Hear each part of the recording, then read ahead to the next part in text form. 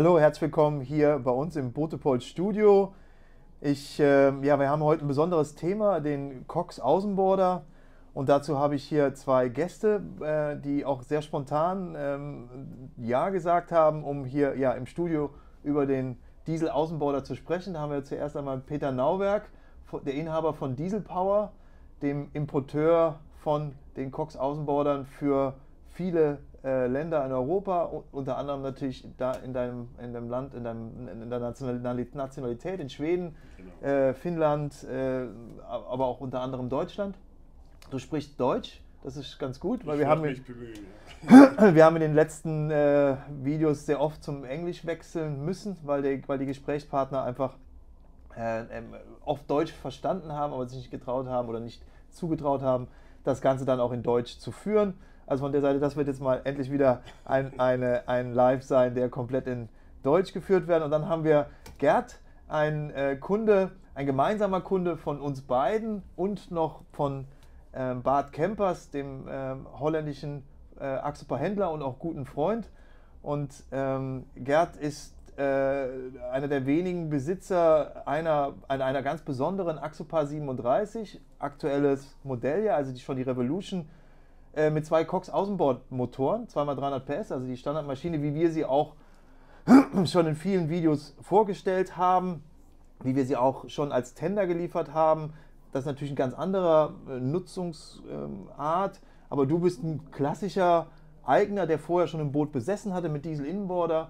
Du wolltest aber eine Axopa haben und warst dann, ja, wir haben uns das erste Mal getroffen in Cannes im Jahr 2021 Dort bist du das Boot, was wir dort ähm, als zu Demo-Zwecken, wo wir, ja, ich glaube, wo viele Videos auch gemacht haben, sind wir gemeinsam. Aber du bist mit Jimmy Probe gefahren, oder? Ja, genau. Wir sind, glaube ich, gar nicht zusammengefahren, ja. sondern mit Jimmy Probe gefahren und du warst sofort begeistert und hast dich dann relativ kurz entschlossen für eine Axopa 37 mit, äh, bei Bad Campers entschieden. Ich habe die Motoren äh, mitgeliefert, war ein kleines gemeinschaftliches Projekt. Und du wirst uns gleich ein bisschen mal von deinen Erfahrungen erzählen, aber jetzt gehe ich erst noch mal kurz zurück an Peter, ähm, wir arbeiten ja seit 21, seit 20 im Herbst äh, zusammen. Ähm, dort haben wir das Projekt begonnen. Das Projekt kam zu uns.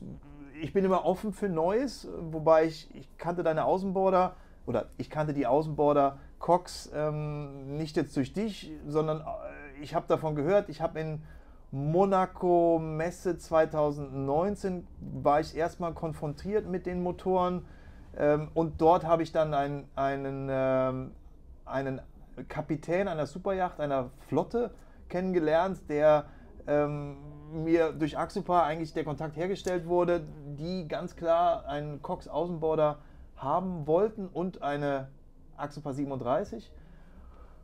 Und ich habe in dem Moment entschieden, das möchte ich gerne machen, das ist spannend. Äh, ich, äh, in, in meinem Geschäft, ich bin so, ich suche auch gerne mal die Herausforderung, das macht mir Spaß. Auch ähm, vielleicht meine Werkstatt ist manchmal ein bisschen genervt davon, aber letztendlich, glaube ich, mögen sie es auch, dass es immer mal wieder was Neues gibt und dass die Arbeit spannend bleibt.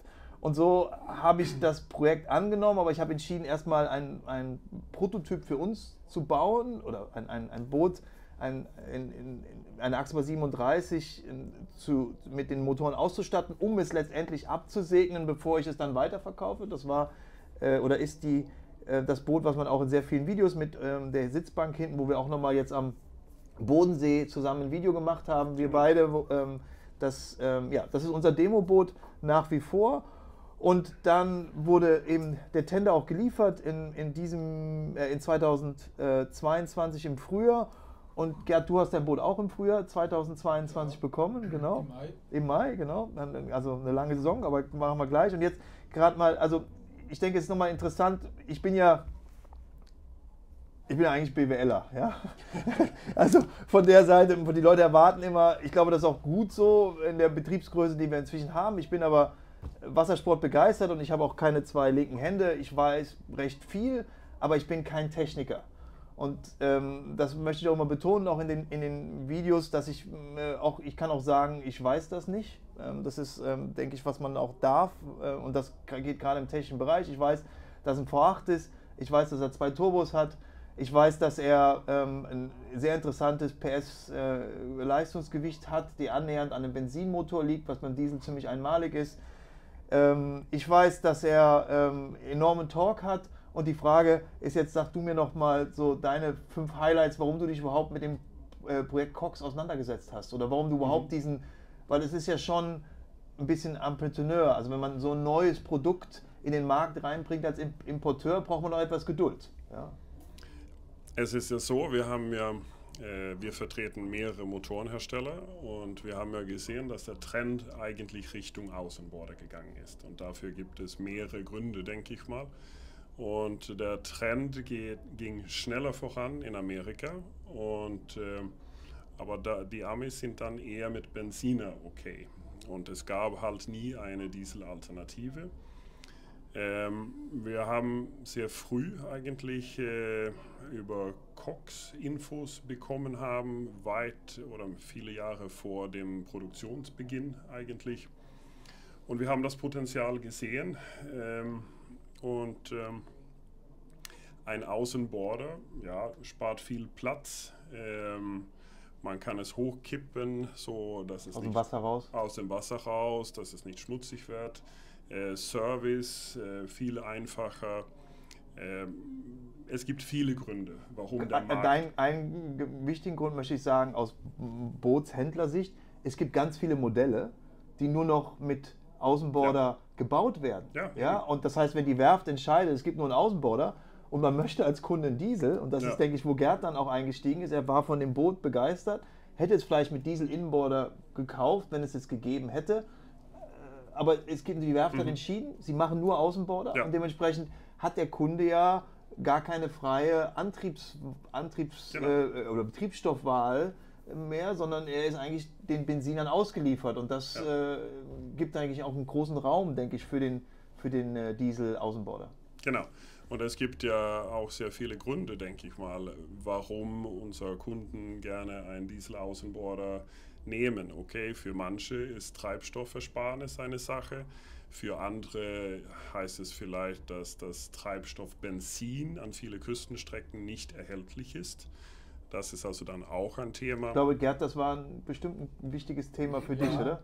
Ja, einmal, äh, einmal, äh, die, Treib einmal äh, die Treibstoffersparnis, zweitens äh, die längere Garantie und Zuverlässigkeit. Ich, äh, äh, ich bekomme überall Diesel in Holland, aber nicht überall äh, Benzin. Und gerade bei langsamen Geschwindigkeiten in Holland ist ja sehr viel so Friesland und überall sind Kanäle. Da fahre ich dann nur 10 km/h, was so knapp 6 Knoten sind. Und äh, da ist dann der Dieselverbrauch ja nur ein Bruchteil von den Benzinern. Mhm. Ich sag mal, wenn ich nur mit einem Motor fahre, zum Beispiel auf dem Kanal, dann brauche ich einen halben Liter pro Seemeile. Und wenn ich jetzt einen Benziner habe, dann ja, kann, ich so kann die, da komme ich kaum unter zwei Liter pro Seemeile. Ja, ne? ja, Und das ist schon äh, entscheidend. Und dann komme ich natürlich auf den Wiederverkauf ich denke, dass ich den Mehrpreis beim Wiederverkauf schon so einigermaßen wieder reinbekomme. Das hoffen wir. Ja, genau, ja, genau, genau, ja, wenn ich den mal verkaufen will. Ja, genau, wollte ich gerade sagen, aber jetzt wird er erstmal benutzt. Gell? Ja, erstmal wird das benutzt. Ja. Es sei denn, äh, ich bekomme mal die Axopa 45 ja, mit genau, Diesel, genau. Ne? Das wäre schon mal so das Nächste. Ne? Das wäre, ja, sehe ich bestimmt als interessantes Projekt. Aber vielleicht sagst du noch gerade zwei, drei Worte zur, zur Technik. Nee, äh, Peter nochmal zur Technik. Ja, erstmal wollte ich sagen, also Drehmoment ist auch eine Sache. Also dadurch, dass unser Motor fast das doppelte Drehmoment haben im Vergleich zu einem Benzin-Außenborder, können wir auch schwerere Boote voranschieben und in Gleitgeschwindigkeit bringen. Mhm. Ich denke, das ist auch ein Thema. Dann in manchen Ländern äh, sehen wir auch, dass unsere Motoren gekauft werden, weil unsere Kunden einen äh, anderen Diesel benutzen möchten. Also äh, ob jetzt ein synthetisches Diesel gibt es in, in Holland Haben wir gerade zum Beispiel. gesprochen, GTL. G GTL, genau. In Holland gibt es andere Care Fabrikate. Care Diesel. Ja, und in, in, in Schweden gibt es welche und in, in Finnland und so weiter. Aber äh, die Umweltgeschichte, was damit verbunden ist, ist auch eine gute Sache. Erstmal durch Treibstoffersparnis sparen wir 30 Prozent CO2. Das ist das eine. Dann haben wir Kunden, die tanken zum Beispiel in Schweden oder Finnland HVU. Das ist ein äh, Diesel, was nicht aus Erdöl hergestellt wird, sondern aus den Restprodukten von der Forstindustrie. Und dann spart man weitere 90 Prozent CO2.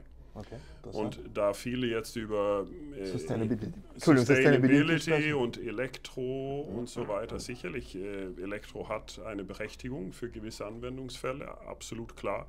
Aber ähm, ich denke, ein, wenn man das, den richtigen Motor und mit dem richtigen Treibstoff, dann messt sich das jeden Tag gegen Elektro. Also Batterien müssen hergestellt werden und der Strom muss irgendwo her die, ähm, die ähm, Sustainability bzw. CO2 bzw. wie sauber der Motor ist, würde ich sagen, war der kleine Ritterschlag, die Bodenseezulassung genau. in der Doppelmotorisierung. Ja. Also das ist ja, das sagt, also ich glaube, das ist der, der ähm, anspruchsvollste ähm, Abgaswert, den man in Europa als gesetzgebende Maßnahme erreichen muss.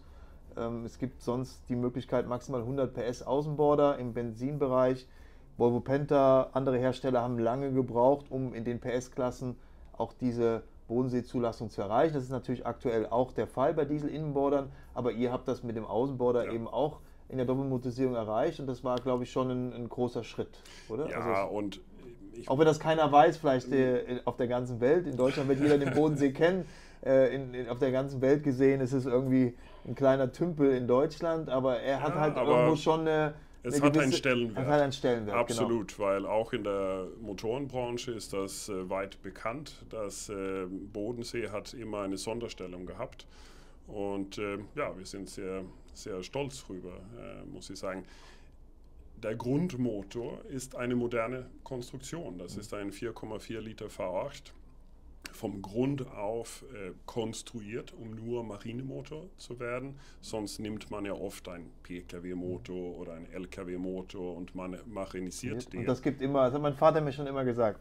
Also vor 30 Jahren, Patrick, alles, was man als Pkw-Motor marinisiert, hat nie funktioniert. Das ist vielleicht alt, aber es gab immer, es gibt immer die, weil die Kühlung einfach an einem Marinemotor eine ganz andere Art und Weise, mit Luftgekühlung beim Auto auch wenn man zweikreisgekühlt ist, man kann den Kühler in der entsprechenden Geschwindigkeit laufen lassen. Ich glaube, eine Fahrzeugkühlung ist einfach wesentlich unkomplexer, das weißt du besser, ja. äh, wie, wie eine, eine maritime Kühlung mit unterschiedlichen Wassertemperaturen, wo man dann mit dem Thermostat, Impeller und so weiter arbeitet. Ich erkläre das auch so ein bisschen, dass wenn man mit seinem Pkw zum Beispiel mit 100 km/h geradeaus fährt, dann nutzt man vielleicht 15 Prozent, 20 Prozent von der Leistung, was der Motor hat. Wenn man mit einem Boot in gleitender Geschwindigkeit dann vielleicht 60, 70, 80, 90, manchmal Vollgas, das ist ein ganz anderer thermischer Stress für den Motor. Das ist wie dem LKW mit der Handbremse bergauf fahren, voll beladen. Ja, genau. Ich meine, das ist wirklich, also das macht man selten. Das merkt man ja. Also der, der LKW, ich sag mal theoretisch, äh, einfach nur vom Gas geht, auskuppelt, dann rollt der noch zwei Kilometer. Und wenn du vom Boot vom Gas gibst, stehst du in, je nach Bootsgröße, wahrscheinlich in, in 200 Meter, ist, ja. da bewegst du dich nicht mehr. Und die letzten 50 Meter ganz langsam nur noch. Also die, das Momentum geht halt sehr schnell verloren, weil einfach, ja, und da ist die Axopa ja, du hast mal gesagt, die Axopa ist eigentlich, die helfen sich sehr. Die Axopa hilft dem Cox und der Cox ja. hilft der Axopa, ja. weil die Axopa einfach so mega fährt. Du warst sehr, sehr begeistert ich, ich, am Bodensee. Immer immer äh, äh, perfektes Plattform Mal, ja. um den Motor, die macht den Motor noch besser, weil, die, weil, weil, das Boot so gut fährt. Hast du selber gesagt? Ja, nee, ja. stimmt absolut. Und das sage ich nicht nur, weil ich jetzt hier bei äh, dir sitze, ja. aber die Axopars, die sind wirklich, die Rümpfe sind einmalig. Ja, ja. Und äh, sicherlich, äh, dann sieht unser Motor auch noch besser ja. aus. Also da haben wir nichts dagegen.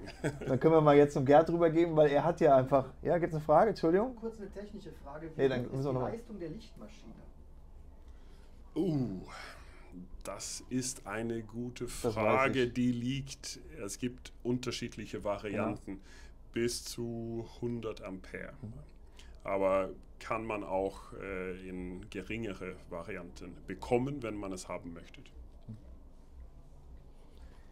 gerade ja. beschrieben, die Axopa und der äh, Außenborder von Cox sind eine Symbiose, so sagt Janne das immer mit dem V8 von, von Mercury.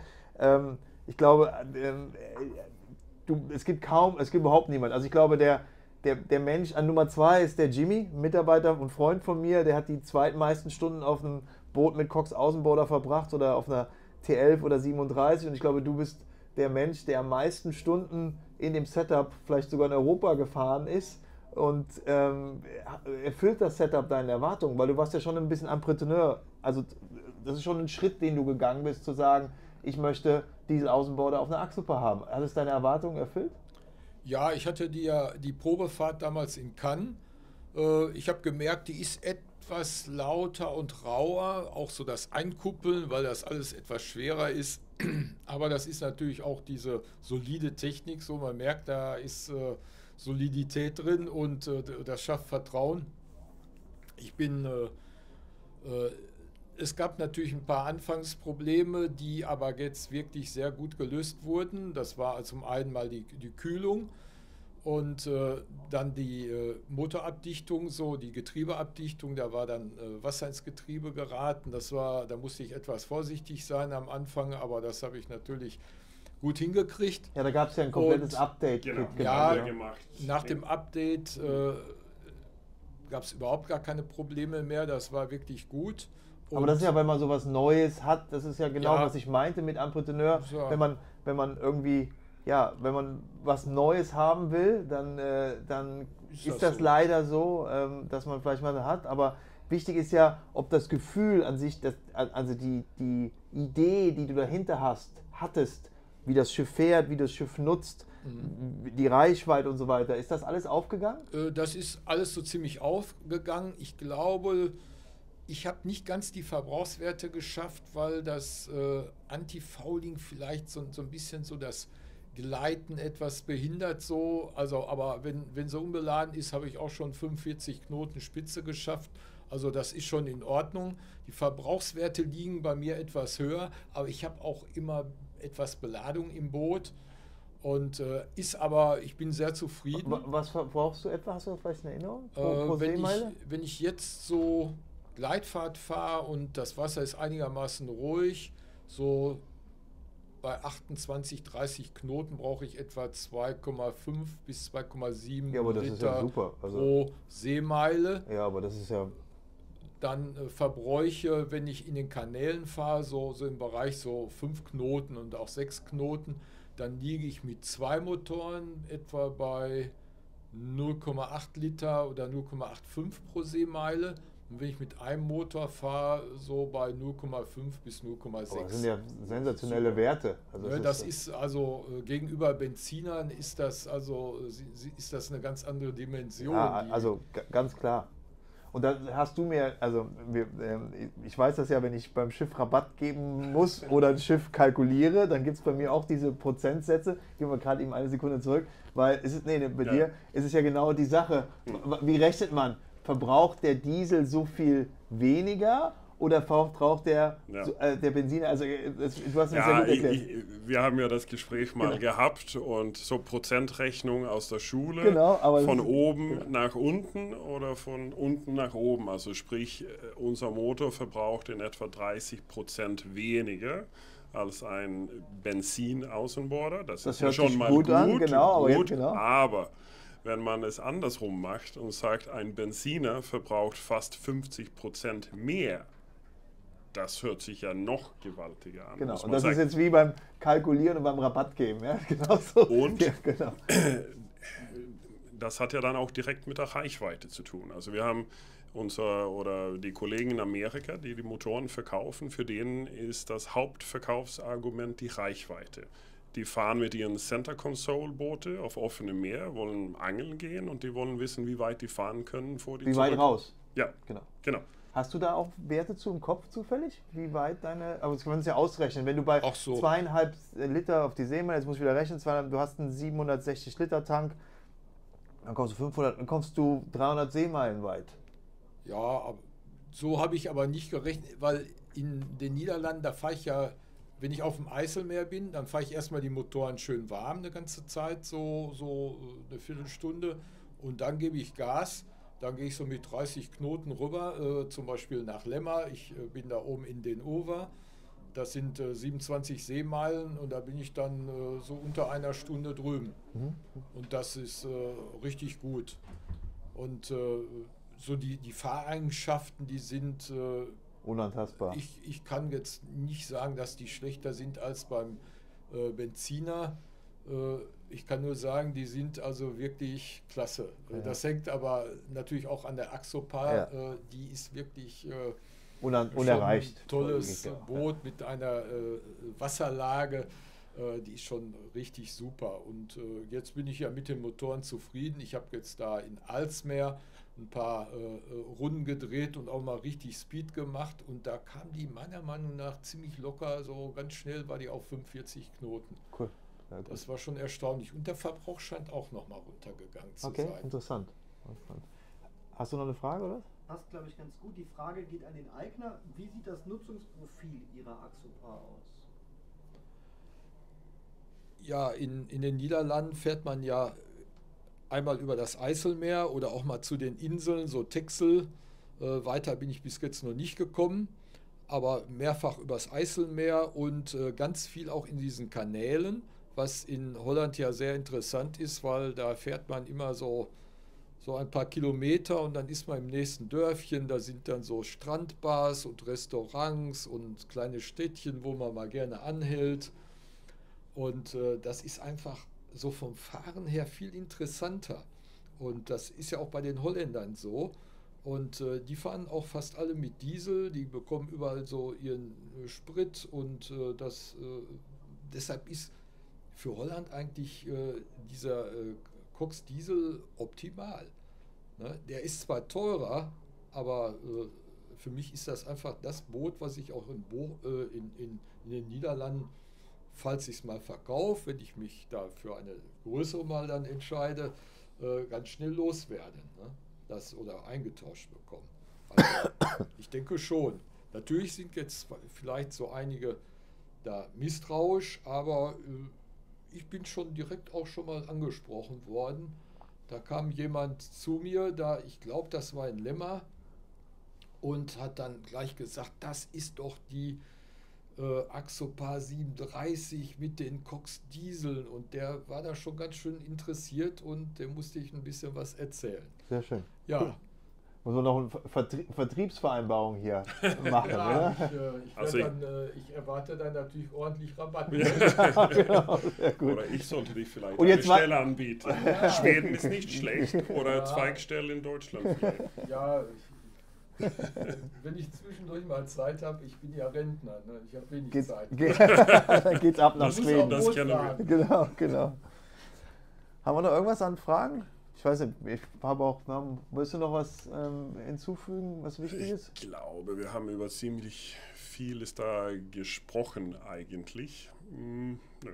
Weil ich habe dem Gerd auch die Zeit ein bisschen aus den Rippen gezogen. Ja. Du hast gleich einen Termin, deswegen will ich auch deine Zeit nicht ja, zu sehr. Wir haben reserviert. Okay, ja genau, Abendessen, genau. Das ist eine wichtige genau, Sache. Genau, genau, ist wichtig, sehr wichtig, genau. Ja, genau. Na super, dann äh, vielen, vielen Dank euch beiden, dass ihr euch die Zeit genommen habt und auch, dass ihr den Mut habt. Das ist immer am Anfang ist jeder so ein bisschen nervös, was hier passiert. Aber eigentlich war es ja, als hätten wir zusammen in der Kneipe gesessen und irgendwie über, über Cox Außenborder und Bootfahren geredet. Wir, wir also, können ja auch in der Kneipe weitermachen. Ja, weitermachen genau. Ich muss auch nochmal als Kunde sagen, ich bin ganz froh, dass ich dich habe, äh, Patrick, als äh, äh, Geschäftspartner zusammen mit dem Bad Kempers. Ja. Das hat toll geklappt. Äh, beides super zuverlässige, seriöse äh, Geschäftspartner und so, wo, wo ich dann ganz genau weiß, da kaufe ich auch mal nächstes Boot. Ja. Super, vielen Dank das ist dafür. Super wichtig. Dankeschön für, für, für, für das Lob. Gerne Cox Diesel. Ja. Cool, Danke. super. Danke dir vielmals. Ja, Dankeschön. Ja. Danke dir. Danke auch. Und äh, vielen Dank fürs Zuschauen. Ich denke, das war ein sehr interessantes Thema für alle über den äh, Cox Außenborder als Motor selber und dann natürlich in Verbindung mit der Axopar 37.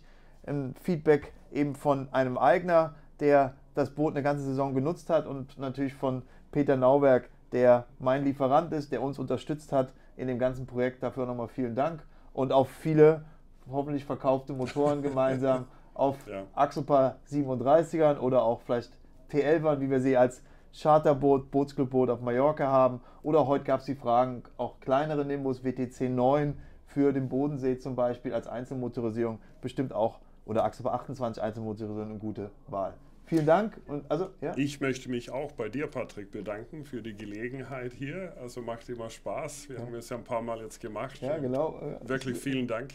Und vielen Dank für das Vertrauen, was du uns auch am Anfang geschenkt haben mit der ganzen Geschichte. Und äh, ja. Super. Vielen Dank. Danke fürs Zuschauen und äh, bis morgen. Ja, super. Ja, ich danke auch nochmal und wünsche jetzt, dass die Messe ein voller Erfolg wird. Vielen Dank, das ist sie schon. Also eine to tolle Messe. Ja. Danke. Danke.